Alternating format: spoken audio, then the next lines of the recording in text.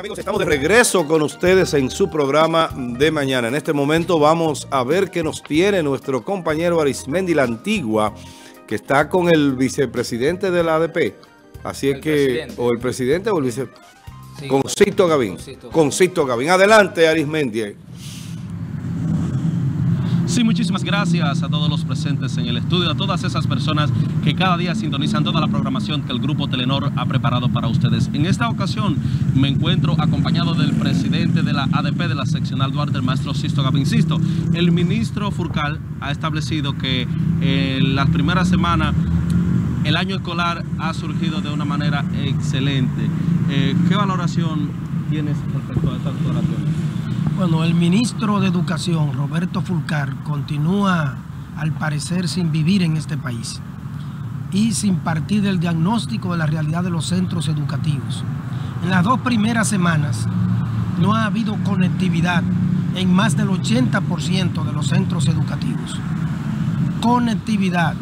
Los docentes han estado en las escuelas, en los liceos, en los centros educativos, eh, haciendo horario desarrollando algunas tareas correspondientes a su labor, pero sin poder entrar en conexión con sus estudiantes porque los centros educativos ni cuentan con las instalaciones ni tienen conectividad. Por lo tanto, el esfuerzo del magisterio sigue siendo doble porque va al centro, cumple el horario y luego a partir de las 3 de la tarde tiene que trabajar en la casa con la parte de la televisión, de la radio, las asignaciones de la tarea de los facilitadores.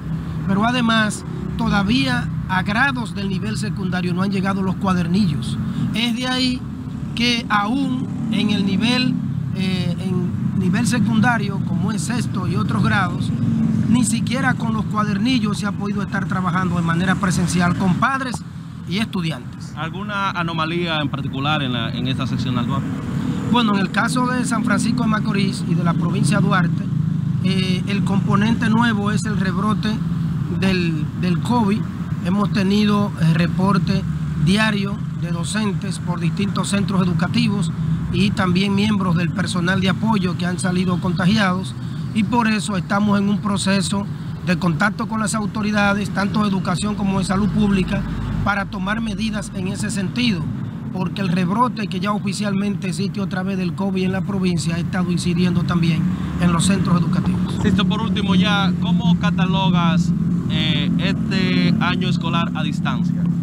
Bueno, hasta este momento ha funcionado a medias en lo que tiene que ver con la radio y la televisión. En la parte de la conectividad y lo digital, un fracaso. Bien, ahí lograron ustedes escuchar las declaraciones del maestro Sisto Gavín, quien funge como presidente de la Asociación Dominicana de Profesores de esta seccional Duarte. En cámara, Willy Hernández. Retorno con ustedes al estudio.